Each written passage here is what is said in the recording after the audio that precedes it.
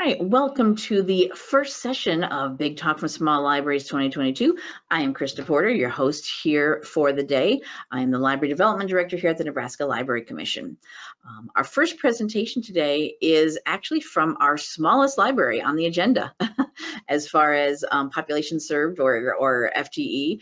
Um, for Big Talk from Small Libraries, all of our presenters are from um, libraries who have a population served or FTE of 10,000 or less.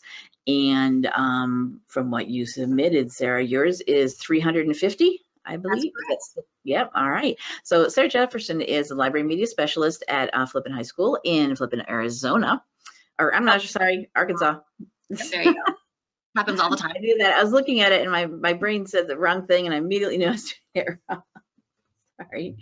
Um, and she's going to talk about um, what they did in their small school library. And this is a big topic all across in many libraries, not just school. Um, a new way of organizing your um, libraries and um, seems to be going well in, in most places. So um, let's hear about how Sarah did it in her library. All right, good morning. My name is Sarah Jefferson, and I am the library media specialist at Flippin High School. It really is called Flippin. We get that a lot too. Um, everybody always laughs about it, but um, yeah, that's that's our name.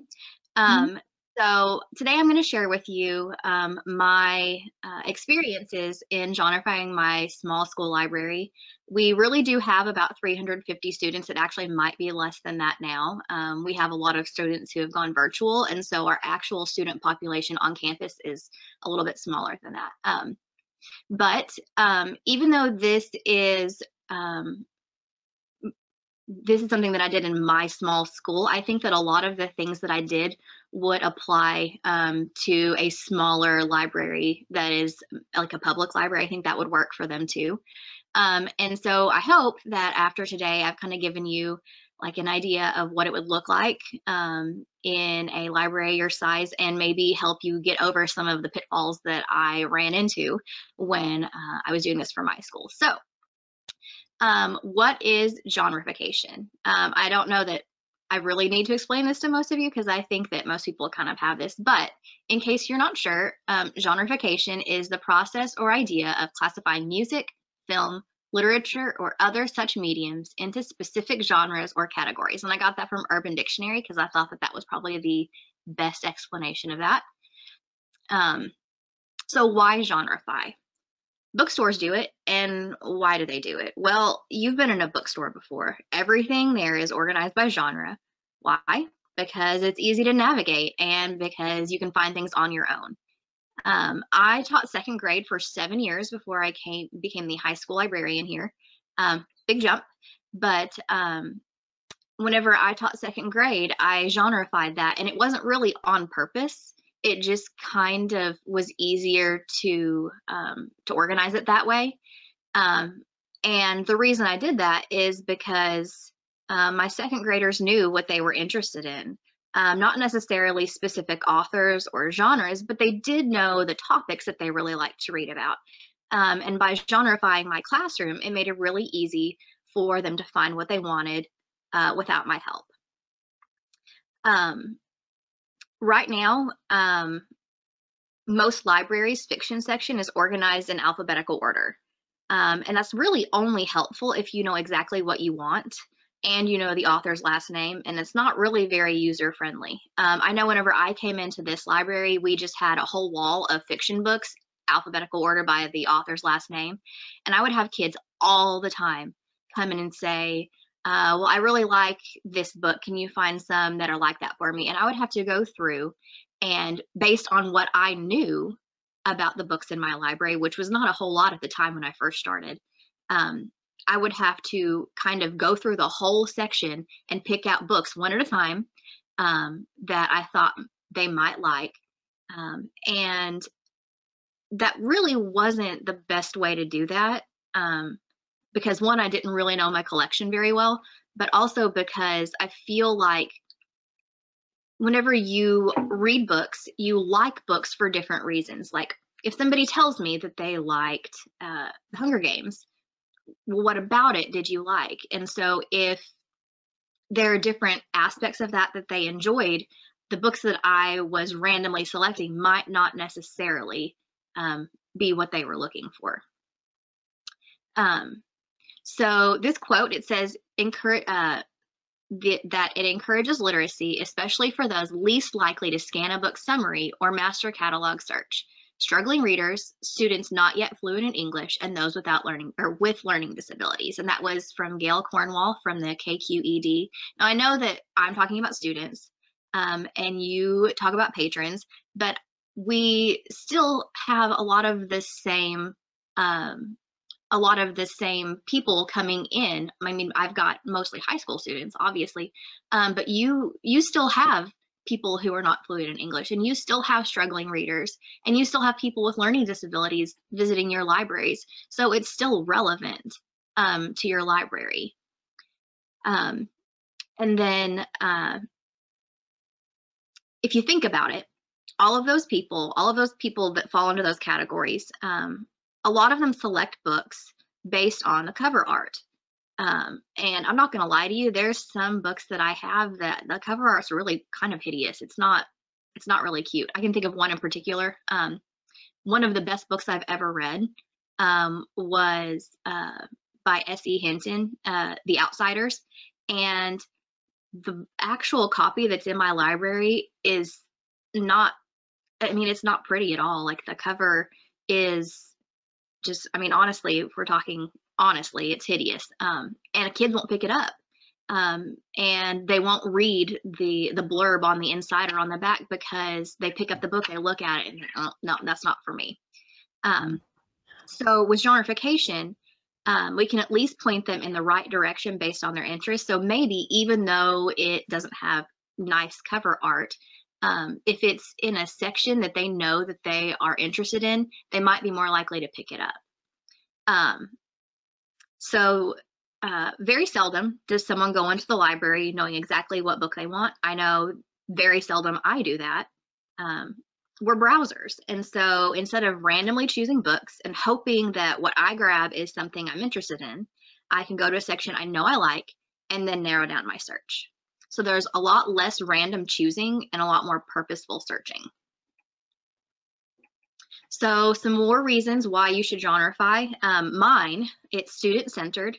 Um, so even for you public libraries, maybe not student-centered, but it's patron-centered. Um, it teaches people to be more self-sufficient and gives them a little more freedom without being confusing. Um, you know, going back to the part about the bookstore, most people don't like salespeople hovering um, and are they're content to browse on their own. And when they're not, they usually ask for help. And our patrons are the same way. Um, I mean, it's it's great whenever you have book recommendations, but if people don't want recommendations, they just want to browse, it does make it a lot easier when it's genreified. Um, it also um, gives you data informed curating because um, for my collection, I can immediately look at every genre, not just on my computer, I can look at it physically and see which sections need beefing up and which sections have an abundance. Um, so that's really kind of a, a benefit to me because it's it's not just numbers, it's uh, like I can see it. Um, I can also use my library management system to see the average age of each genre. Um, and I know that we do that um, whenever we're reading a lot, um, but it's nice to be able to look at each individual genre and say, okay, it's this old, I need to add some newer books and get rid of some. Um, and the, the other thing is nonfiction is usually genreified. Um, you can maybe see behind me, this is my actual library. Um, and I've got it sectioned off a little bit, um, but this is organized by Dewey. That's how my, non my, my nonfiction is. Um, and if nonfiction is organized by Dewey Decimal System, uh, why? It's because it makes things easier to find um, in the nonfiction section. So why in the world do we lump together all of fiction? Why do we do that? Um, I know that uh, I have I have done some research and I know there are some schools that include nonfiction in their genreification. So they have their nonfiction and fiction books that have the same topics together. I didn't do that because I wanted to keep my fiction and nonfiction sections separate, but that is something to think about. Um, So, um, Christy Mitten from Beyond the Shelves uh, has this quote A busy library is a funded library. And I know um, a lot of the public libraries, um, your, uh, your budget is determined by your local government. Um, ours is determined by our school board. And if my school board sees that my library is being used for more than just like a hangout spot, which don't get me wrong, that that's great, but they also, I mean, it's important for them to be using it, you know, for the books too. Like that's that's kind of the main purpose. And so if people know that my library is being used, um, I'm more likely to get money when I ask for it. Um, and uh, so the the five laws of library science, if you have gone to school to be a librarian, um, you're very familiar with those, and I'll touch on those later. But um, all five of those laws um, really back up genreification um, because it's it's not about what is easiest for me as a librarian. Um, it's more about our patrons. And so when my students struggle to find what they want, or they have to ask me for help every time they come in, uh, it becomes a chore for not just for me, but for them. Um, and a lot of times they just avoid coming because it's easier to just not come than to have to ask for help or um, to spend time looking. And so when they can find books they want independently, they're more likely to come. So here are some cons. It's not all uh, it's not all perfect. It doesn't all go according to plan all the time. Um, it does take up more space because I do need um, a little bit more space to section off the book. So if I've got a pretty small uh, genre, um, it, it's really hard to pair it up with something else on shelves uh, so that they're separated but not taking up a whole lot of extra shelf space. And you'll see what I mean by that in a minute when I show you some pictures. Um, another thing, it's really difficult to identify genre in a lot of books. We have a um, a lot of books in our library, and I'm sure in yours too, where it doesn't really fit in one particular genre or another. And so for me, it was really helpful to look um, in a couple of different places uh, to help me to identify what genre it best fit in. Now, that doesn't mean it fit perfectly, but um, what fit best. And something that helped me a lot um, was to keep my genres fluid. So if I had a student that read the book and was like, it really doesn't fit here, I think it fits more there. Well, they've read the book and they're likely to know better than I do. So it's something that I just kind of switch and put them in a new spot and then we're good to go.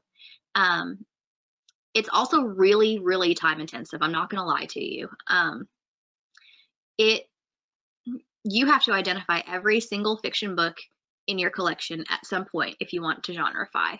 Um, and so it did take me a pretty long time to do this. Um, and I I'm lucky that I have a really good principal that was behind me on this and I did some research and I looked at numbers um, and we agreed to do this, um, and he was very supportive.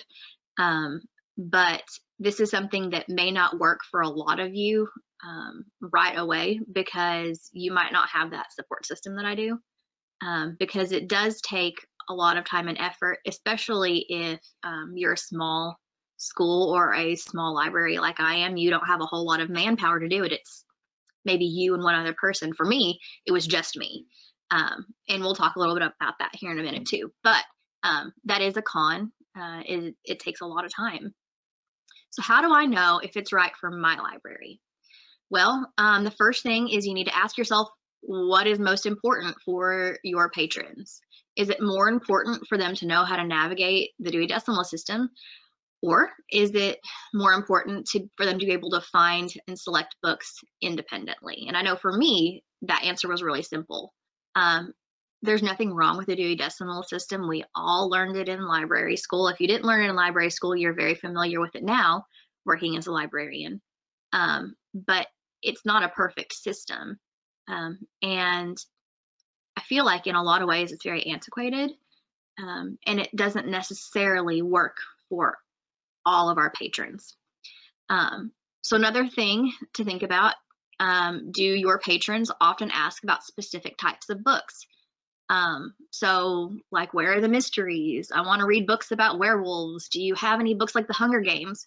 Um, whenever you genreify, it makes it a lot easier to point people in the right direction um, or for them to find it on their own because uh, you have separated it by genre and it makes it easier to find. Um, another question to think about, uh, do you find that your patrons spend a lot of time searching or don't have a clue where to start? I know that's the case for some of mine, um, and genreification helps simplify that. So if um, you think about these questions, uh, you might realize that genreification is right for you, but how do you get started? So here's why I chose genreification. Um, every year I do um, a questionnaire that I send out to my students, um, and their feedback showed that they wanted the new books separated from the general collection um, because they had a hard time finding books that they were interested in. Um, so I started off with doing just um, the new books because that seemed like a really simple place to start and a good testing ground. And if it worked, we could do the whole collection. And if it didn't work, well, no harm, no foul. Um, and once I separated the new books, the students really seemed to like that because they could very quickly find, um, you know, books they hadn't seen before. Um, and uh, after that one year, I did uh, another questionnaire, and students indicated they really liked the organization style. Now, I didn't do it by necessarily traditional genres, and I kind of gave them some cute, quirky names. Like instead of romance, I put love is in the air, and they really liked that. Um, but they, I found that the new section was hit a lot more often than the old section, maybe because it was new, maybe because it was genreified. Um, but after the questionnaire, the students really did seem to like that they knew where to go to look for what they wanted. Um, so here is an example of what it looked like whenever I made my new books. I've got my, uh, I made some memes whenever we were all, uh, when we first started out in the pandemic to remind people to sanitize their hands before they touch things. So there's my Joe Exotic uh, meme that I made. But um, so here's um, my new book section, and it's kind of hard to see from here. Um, I'll give you a closer look here in a little bit, but um, each shelf is a different genre. Some of them are sharing, but I have little labels here um, where I labeled each different genre, and I also gave each genre a specific color sticker. Um, and like I said, it's kind of hard to see from here, but right here, this is my dystopian and disaster section. They all have these orange stickers. Um, that really helped to be able to identify the books quickly, even if um, they didn't read uh, the explanations of the genres. Um, they got to where they knew like that bright green is magical realism and orange is dystopian and disaster and black is a twisted tale and anyway so it made it really easy once they kind of got the hang of it for them to quickly find what they wanted even if they weren't um, they weren't reading like the the examples and the explanations. So um, the process i began sorting books during the summer because i have an extended contract which means that i get to work two weeks after all of the teachers go home, and I come to school two weeks before all of the teachers come. So I have four extra weeks that I am paid to be here, which is really helpful because that's the time that I usually spend um, going over my collection and doing inventory uh, and uh, weeding and things like that. So I began sorting books during the summer, and really what I did is I just made a lot of big piles. And all of the books that I knew where they went, because if you know, if you know your collection pretty well, there's a lot of books that you can quickly sort. So I started putting them in piles. Um, whenever I came to books that I wasn't really sure how to organize, um, I used Goodreads and Amazon and saw kind of where everybody else uh, shelved them and what they said. Uh, didn't always help, but most of the time it got me at least in the right direction. So then I strategically placed the genres on the shelves. And so that part was a little bit difficult because I would have to look at a stack of books and be like, okay, well, how can I fit all of these on this shelf or am I going to have to uh, take up more than one shelf for it? And so I found myself putting books on the shelf. And by the time I got done, I needed to rearrange again. It's kind of like doing a puzzle where if all of the pieces don't fit, you got to kind of rearrange them. That's how it was. So uh, after I placed them on the shelves and kind of got them where I liked them, um, I chose colored dot stickers to denote each specific genre. And I put stickers on every single book. Um, they weren't necessarily always in the same place, but it was on the spine somewhere so that it was easy to see. And then I made signs on the shelves with a description of the genre and I made sure that the color of the font matched the color of the sticker, um, just to make it easier for people to be able to uh, to pick out the genres. It did take me about 40 hours to complete. That's estimated, um, and that was just for that part. That was not everything that I did to genreify. There was a couple more things that I had to do, uh, but that's all I really had time for during the summer. Um, and so it took me 40 hours to do that, which was a little over one full week of school. Um, and that, again, that's something that might not work for every library, but it seemed like a really simple way for it to work for my school. And we are, again, a very small school, uh, but I feel like this is something that could work for even uh, bigger libraries than us. So here are the supplies that I bought um, in the final cost. It was actually really cheap to do this. Um, so on Amazon, I brought I bought some chroma label uh, half inch round color coding stickers. Um, they came in a thousand a box for ten dollars each. Um, I still have. Um, I mean, I haven't had to repurchase um, since I did this uh, two years ago. So they've lasted me a long time. Um, I also bought the Super Grip sign holders from the library store. Um, and they were 10 to a package and they were $13.95 per package. Um, so I ended up using um, 12 of the color coding dots. And then I had to buy two packages of the sign holders. And so I, the square shelf flag holders, they have a hinge on them so that people can flip up the, uh, the sign if it's in their way. Um, but anyway, it ended up costing me $112.90. Um, and whenever I bought multiples, I saved a little bit of money. Um, again, I have a very small library. I only had 12 sections. It might cost you a little bit more if you decide you want to expand your genres. And really, part of the reason that I only have 12 genres um, is because I don't really have enough books in some places to really call it a genre. Like science fiction, I really don't have enough books in my collection to have just a science fiction section. So I kind of um, included them in other sections where they fit best.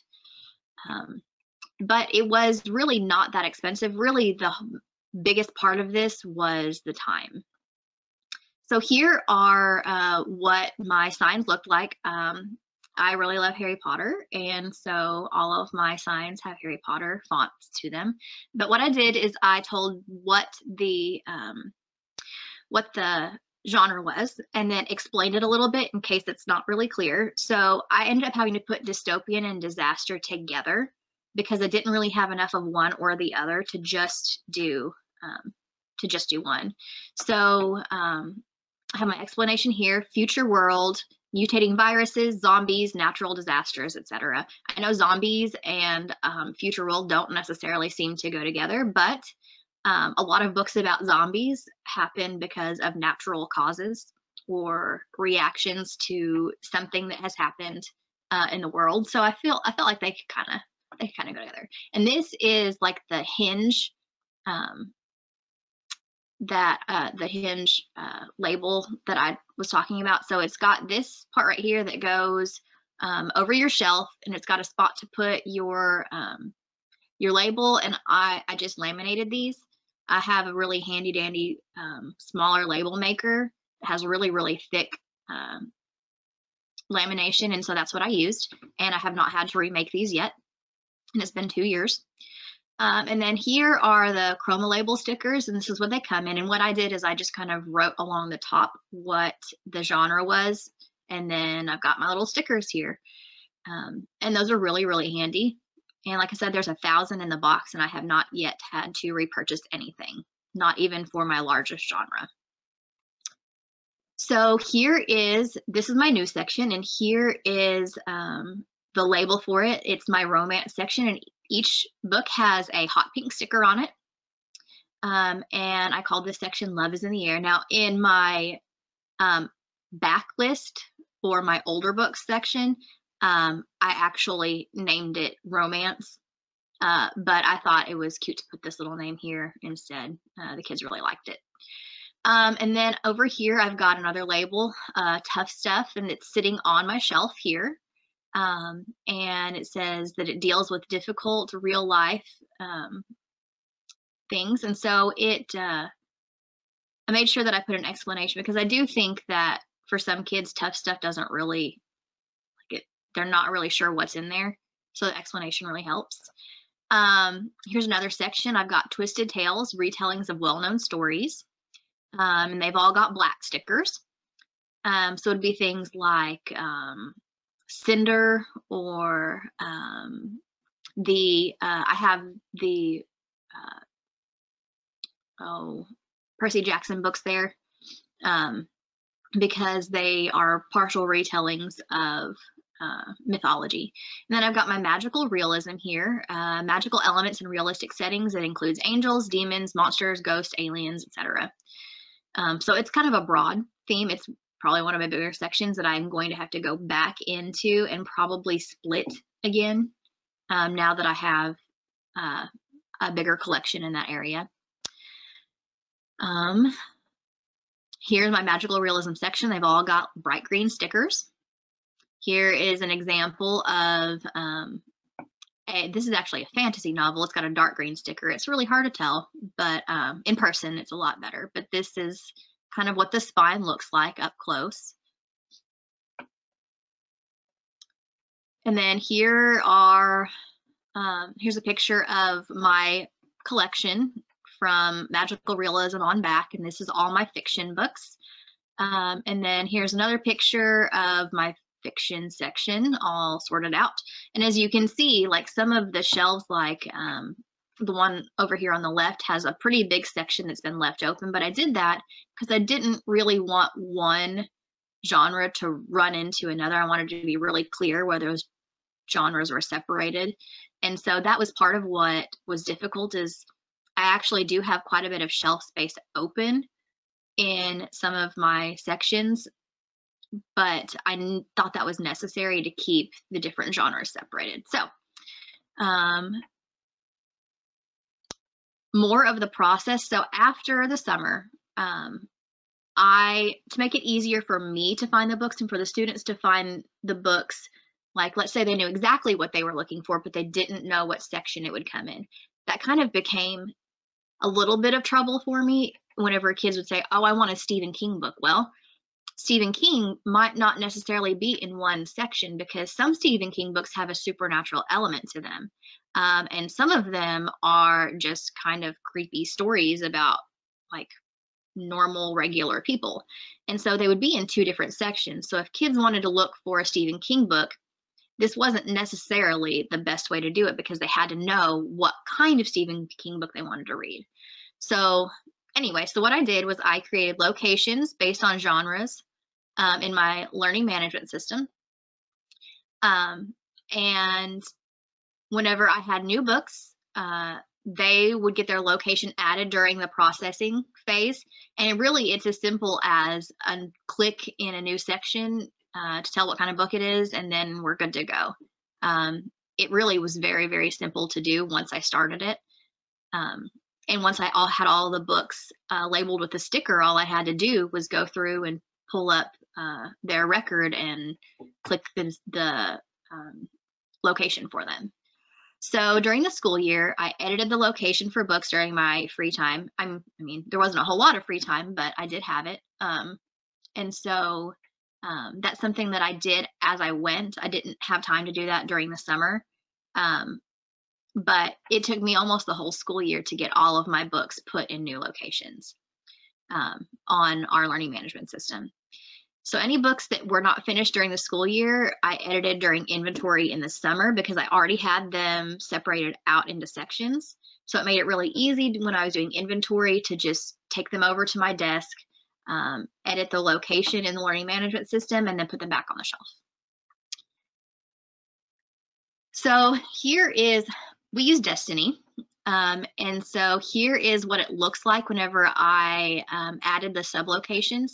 Right here it says uh, library sublocations, uh, total is 20. All I had to do is edit that and add in my new uh, genres so that whenever it was time for me to put my books into those um, sublocations to help people find them better, um, all I had to do was uh, edit them. So here are some of my sublocations. Um, this is what it looks like. Um, and I've got a couple of extras on there um, that are not my fiction, but um, that's also for the students to be able to find books easily. Um, so here are the genres that I picked. You can pick whatever you want. Um, I suggest making them kind of fluid, but the, these are the ones that I picked. Classics, twisted tales, romance, historical fiction, tough stuff, mystery, suspense, and thriller are all together. Sports, realistic fiction, and then I had alternate alternate reality, time travel, and special abilities kind of all together. So like time travel and uh, superheroes were together because they have uh, special abilities. Then I put together dystopian disaster, magical realism, and fantasy.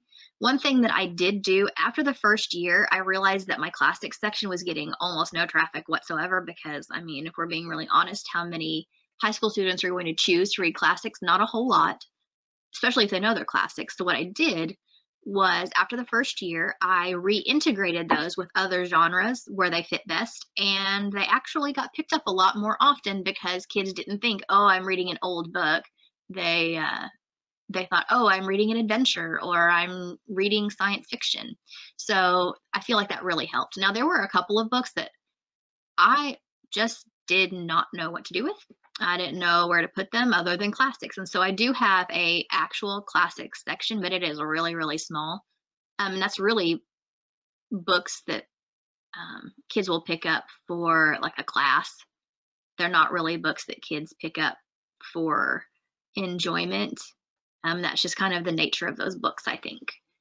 Um, so here are some tips and tricks based on my experiences.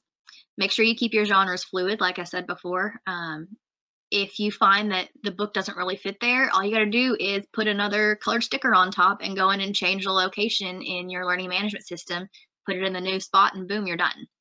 Um, it's really not a lot of work once you've done the legwork ahead of time. Um, moving books from one section to another is really no big deal. Uh, sort first, then shelf. I learned that the hard way. I thought, oh, well, let's put them in this order because that's going to be fun. And then I got them on the shelves and they didn't fit. So I had to take them off the shelves and start again. Um, so another thing that I touched on, if you're not sure uh, which genre a book fits, check Amazon or Goodreads. That's really helpful. It was really helpful to me to see what other people thought. Um, because if you're not really familiar with your collection, there's going to be some books that even after you read the the blurb, it's really not clear where it should go. Um, and don't be afraid to make up your own genre groups. Um, I did that. Uh, I combined some things that I felt like could go together so that they wouldn't take up a whole lot of space on their own. Don't be afraid to do that. And um, again, you can keep them fluid. You can move things if you need to. Um, in fact, this last year, I had to rearrange some shelves from where they were because I uh, increased my uh, collection in a couple of areas and they didn't fit anymore. Um, and then the next one is do a little at a time. Um, I started off with just my new books. Um, try that and see if it works. I mean, that's my suggestion. If this seems like it's too big of a task to do, um, try a little bit at a time and and see how it goes and see if it works for you. And if it doesn't then put them back where they came from. And if it does well then just do a little bit at a time. I mean i, I couldn't do all of it in the summer that i was given. Um, so i did what i could and i worked on it over the year. Um, was it worth it? Well i did have a lot a lot faster self-selection for my students. Um, I still had kids to come to me for book recommendations because they know I'm a reader.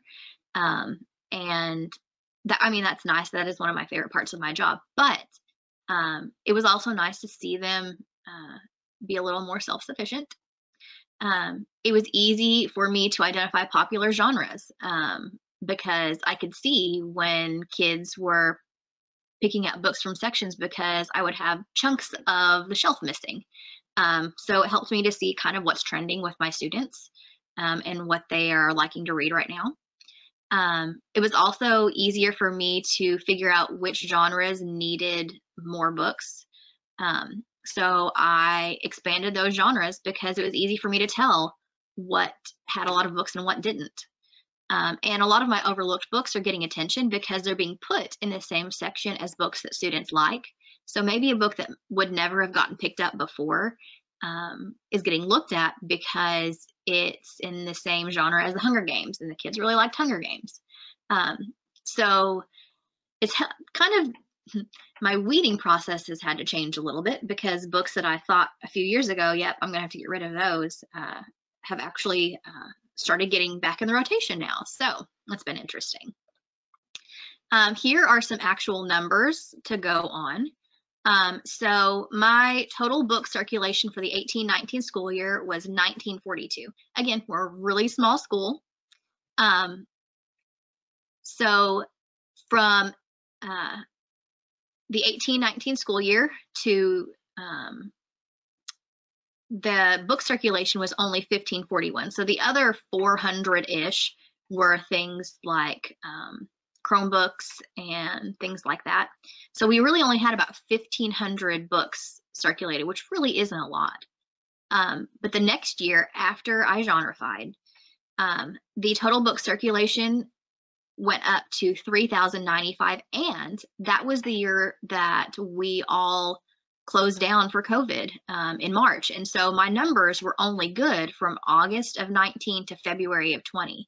If I had been able to include numbers um, for February or for March, April, and May of that year, um, my numbers would have been much higher. So you can see there's been almost a 60% increase from before to after genreification, that first year alone. There was almost a 60% increase it doubled the amount of checkouts for that same time span. So um, if you look at just August 18 to February 19 and then August 19 to February 20, that same amount of time, it doubled. Um, so if that doesn't convince you, um, I'm not sure what will. Um, so here is the actual collection report, uh, just for you to see. Um, I had 1,942 books. I marked out stuff that wasn't books. Um, you can see I don't have a whole lot of nonfiction books checked out. Um, my fiction books, I only had about 1,500 down here. Um, and those are my circulation stats for the 1819 school year. Um, just August 18 to February 19, there's the 1541. Um, and then you can see here, we're going to include all of the nonfiction books too, but my fiction books, are down here. I had 3,095 books checked out uh, from August 19 to February 20. So uh, if you're still not sure, um, what does AASL say about genreification? So what do the professionals in our field say? Um, according to President Yates in 2018, I really try not to come down on any one side. I just think that I've not seen people that have gone to genreification then go back. There's a reason for that. Um, now that I have done it, I don't think I'll ever go back to having just a fiction section because it works for my students, it works for my population, and it works for my patrons. So um, that's some more information to kind of think about. what the president of AASL says. Um, so going back really quick to touch on the five laws of library science. Um, hopefully you're familiar with them. The first one, books are for use. If no one's checking them out, the library is not effective and it's not useful. Uh, every reader his or her book. Um, there's something for everyone. Uh, J.K. Rowling once said, if you don't like to read, you haven't found the right book. And I believe that. Um, and it's a lot harder to find the right book if you don't know where to look. Every book its reader. Uh, books aren't getting picked up because they get overlooked, um, either because of the cover art, the reviews on back instead of a blurb, which is one of my biggest pet peeves. I don't care what some person said about it. I want to know what the book's about. Um, but when it's genreified, students will be more likely to pick it up because it's in a section they're interested in. Um, save the time of the reader.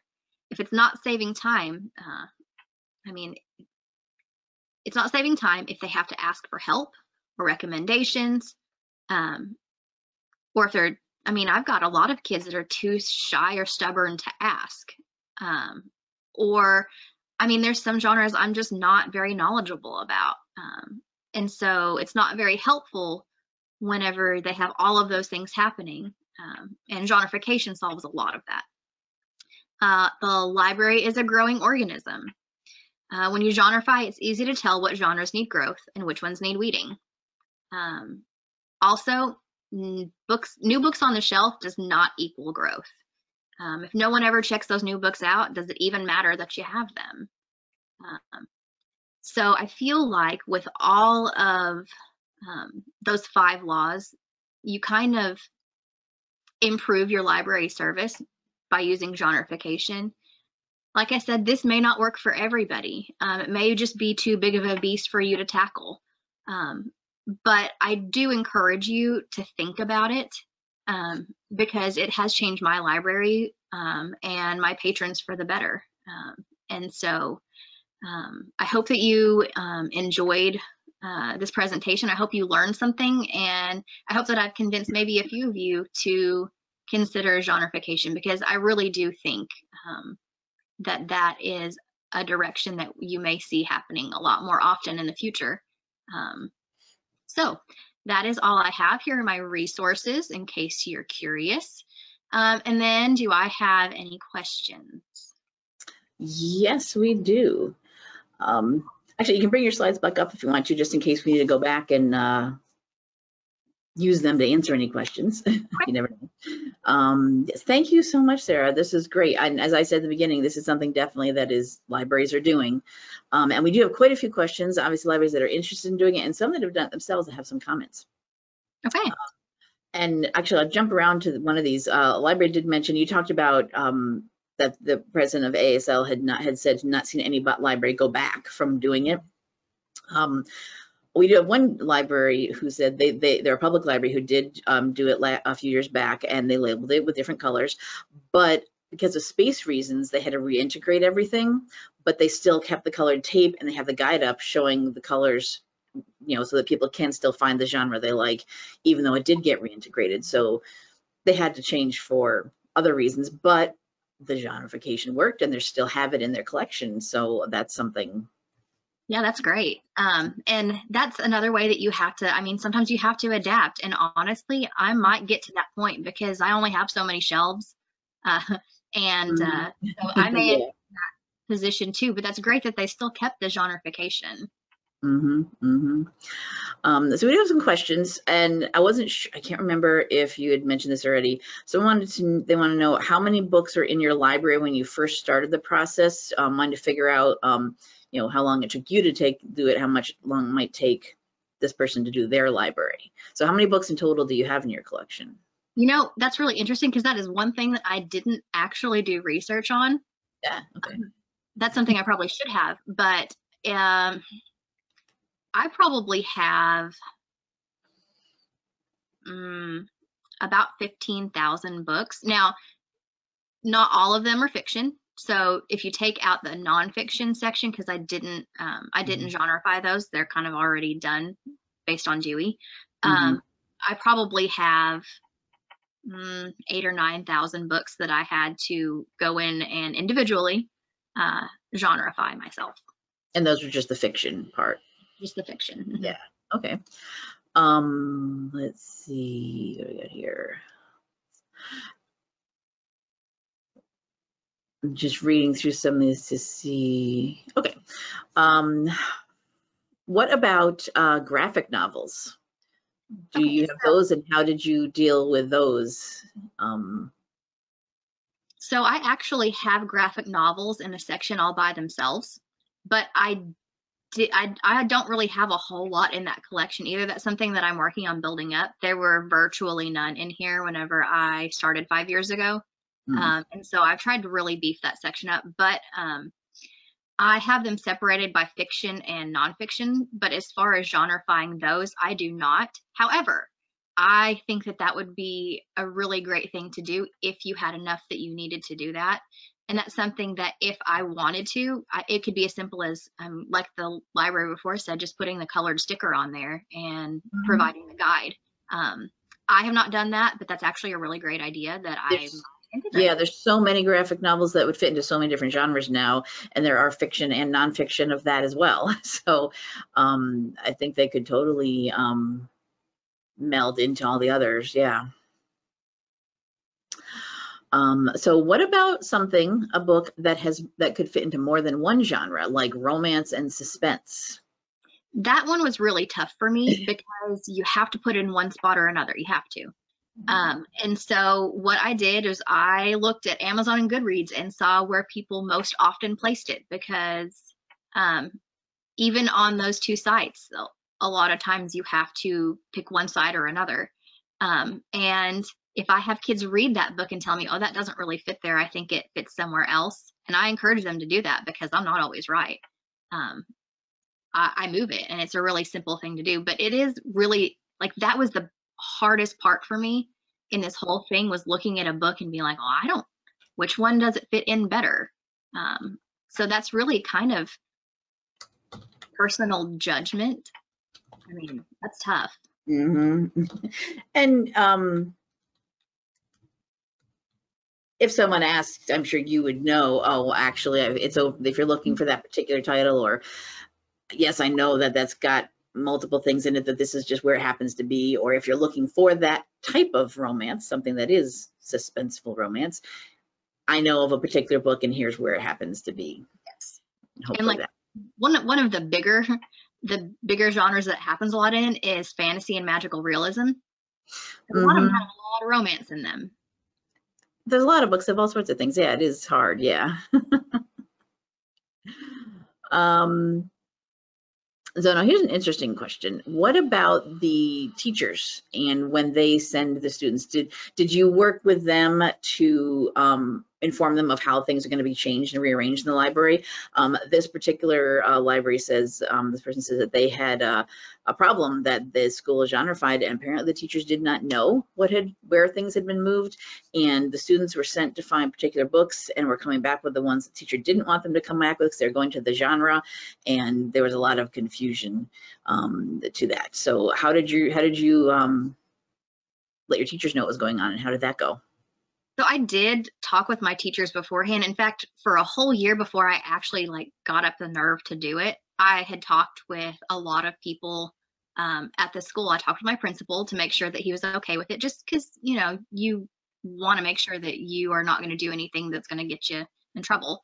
Um, but I talked with my principal. I talked with my teachers. I talked with a lot of students, and I kind of had not an official one, but like an advisory board to kind of run some questions across and situations and see what they thought about it. And all of my teachers were on board with this. In fact, I had a lot of teachers that really appreciated that it was easier for our students to find things. Um, and I'm still available um, if they have any questions, and so is our catalog. Um, because in in the catalog, uh, the books have a location on them, and so if the student looks up the book, they can see it's in the romance section or it's in magical realism. So um, even if it's not immediately clear in your mind where it might be, there are a lot of resources to find it um, pretty easily. Uh, but yeah, my um, I did talk with my staff, um, and they, I mean, they were 100% behind it. and even now like they they really love it Yeah, so definitely a good tip. Keep your make sure everyone knows what's happening, what's coming, and you know have them invested in it by, like you said, having that sort of advisory board by you know reaching out to them and saying, hey, this is what we're doing. Do you have any input on it? Yeah.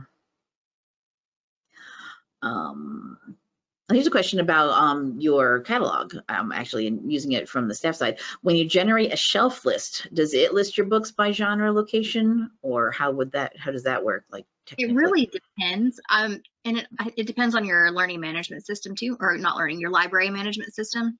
Mhm. But uh, I can choose to have mine sorted by location. Um, that's something that I have to go in and add or tell it to do specifically. But if I want it to, I definitely can. Uh, I, I mean, I have a really small collection, so for me, like, not that big of a deal because. I might have a couple hundred books in each section, but um, yeah, I know that would be a lot harder for. I mean, like I said, there's only 350 students at you know my school, so to have even one with 5,000 students, it's still considered kind of small, but Mhm. but it would be a lot harder for them to look at books the same way that I do. So I do think that um, depending on your library management system, um, you can do that. I know Destiny can, but I'm not sure about any others. Right, sure. So, um, switching over to the public library questions, a couple here that we have to wrap up. Um, and I know you're at school, but still, um, does, do you know, um, how does your public library in your area, do you have one in your area? And does it do the same thing or are they still doing, doing Dewey or something else? Um, and if, you know, if they are not, if they're, if students do you know them having, well, you would know if they're having trouble navigating the public library, but you know, how is it going? You know, how does it compare to what's going on in your public library? Um, actually, I believe that I am the only library in my area that has a genrefied library. Now, I do, um, every year we have professional development um, with other librarians. I do get a lot of questions about it from the surrounding libraries, but nobody has ever done it other than me. Mhm. Um, our public library actually is pretty small too. We are a really rural area just overall. Um, and so our public library is not just a whole lot bigger than our library, um, but they have not done that yet either. Um, so I, I know that our library is basically fiction and then nonfiction, and nonfiction is separated by Mm. Dewey. Fiction is just kind of all lumped together because they're small like we are. Um, so they haven't really separated by genre yet at all. Mhm. Have you considered doing this with your nonfiction books? That you've I got the fictions done? my nonfiction i i mean it's it's separated by dewey and i have labeled it in the same way that i've done uh, my fiction section um might not be able to see it but um like for example here is one of my labels for um the section behind me. It's the education section. So you know Mhm. everything from like the 370 section is there. Um, and i have thought about um, including books like let's say from the zero zeros where it's um, like supernatural stuff in with the magical realism. Um, i think that would be a really interesting way to do that but i do think that i would run into a lot of problems with well where does this go or is this just really purely nonfiction um, Yeah, i mean i can see places that would work yeah. and places where it would not Yeah. I think with one last question here, we do got to switch into our next session. But um, for a public library that is considering doing this, would you recommend just starting off with the children's section? Um, or yes like maybe even just children's as opposed to just all fiction or right yeah let's um, start. you know adults tend to um like once you've learned a way like you just you know you know it and so that's what you get used to Yeah. but for kids it's a little bit different like they they haven't learned all of that yet like they've not been trained in how the Mm. dewey decimal system works and so for them it would probably be a lot easier for them to say oh i really like books about animals and so if they could go to a section with just books about animals i think that that Mm. would encourage a lot of those kids to pick books instead of kind of wandering around and hoping that they pick out a book that is is about animals. Yeah, definitely a good place to start. Yeah. Right. Okay. I think we'll have to wrap it up now. Um, if anybody does have any questions, you can reach out to Sarah at her library um, about this and see if there are any other libraries in your area doing the same thing. So thank you so much for being with us this morning, Sarah.